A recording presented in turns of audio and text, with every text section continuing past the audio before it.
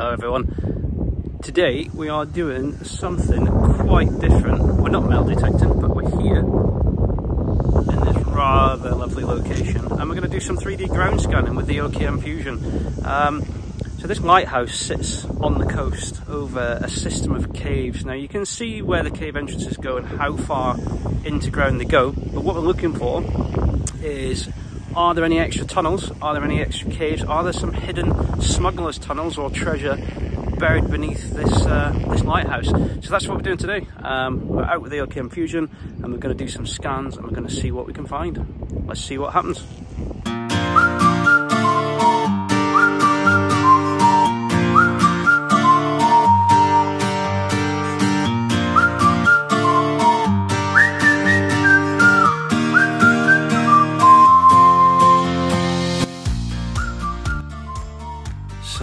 So, what's the plan then?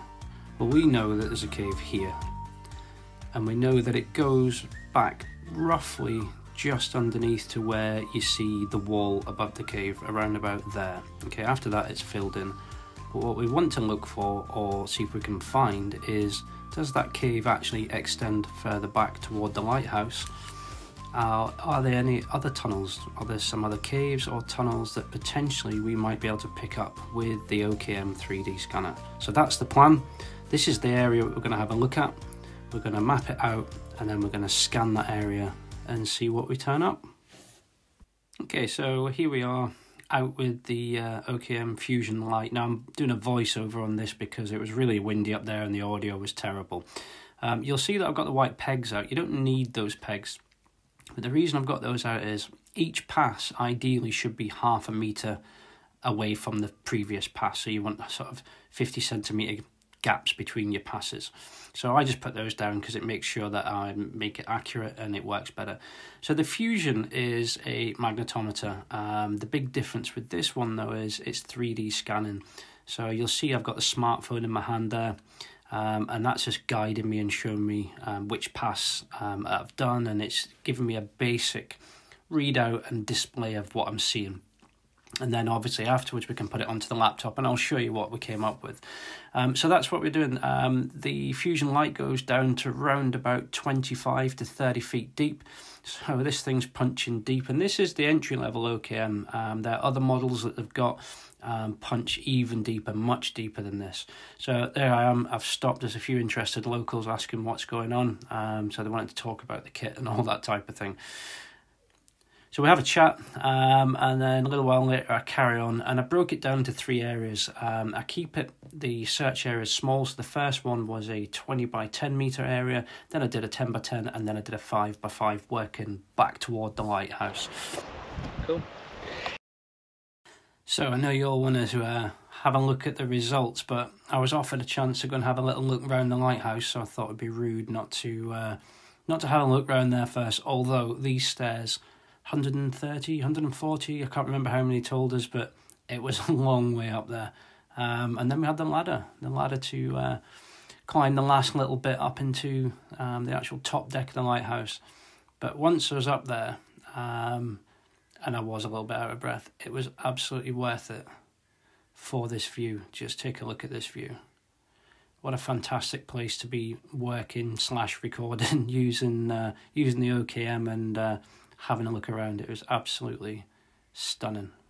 Bit misty, but what a fantastic place.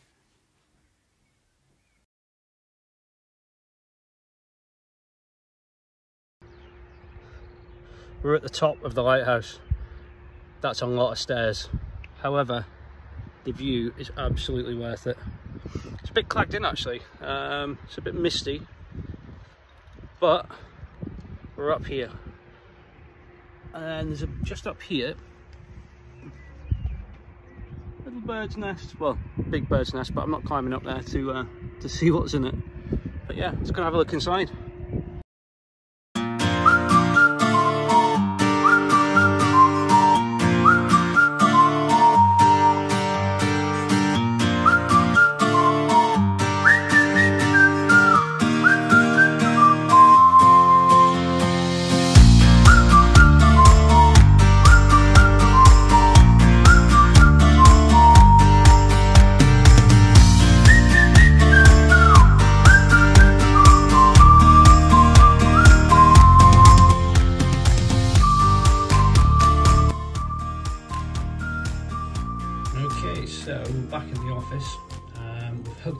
smartphone to the laptop. Now, both of which the smartphone and the laptop are provided with the uh, OKM Fusion Light. Um, and what we're doing is using the advanced sort of 3D Studio uh, visualizer so we can put in some of the parameters from today's scan um, and have a more accurate and more detailed look at it. So what we've got here um, is our information about the field length. So you remember I mentioned earlier the first big scan that we did was 20 meters by 10 meters. Um, beneath it down here we could put in the GPS um, location and coordinates if we wanted to. Um, what we've also got over here is we've got scan overlay so we could um, with that we can put an overlay of like a for example aerial photo or map of the area on there um, but we're not going to do that for this one because we just want to look at the scan. So what we're going to do here is we're going to put in the parameters for the ground type. Now I've got rock in here because it is predominantly bedrock with a small amount of sandy soil on the top. Um, but you've got lots of different options on here so clay, concrete, asphalt, gravel, so on and so forth um, sand and all the other things, neutral but we've gone for rock so what we're going to do is we're going to apply that and then here you can see our click the right one. You can see our finished scan.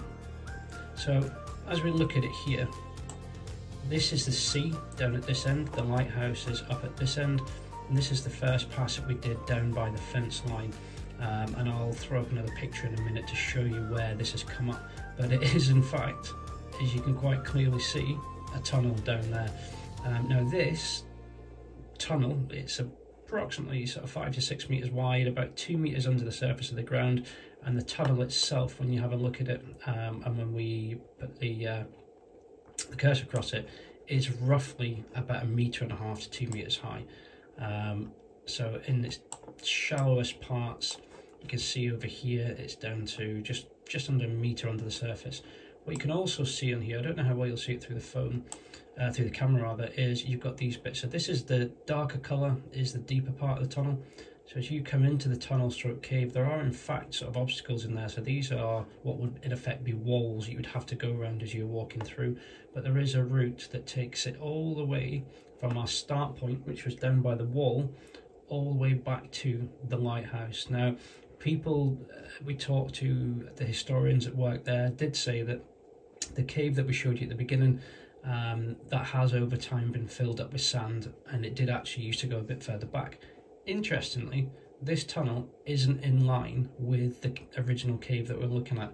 It's actually over to the east side of it. So this is a completely separate cave slash tunnel that no one even knew was there. Um, what we are going to do is we're going to go and scan it a bit more and we're going to um, go back and we're going to find where the tunnel starts and hopefully potentially find an entrance. Now it could be that this tunnel doesn't even have an entrance. It's just a sealed off cave stroke tunnel. Or it could be that this tunnel was um, actually has rather been used in the past. So who knows what could be in there.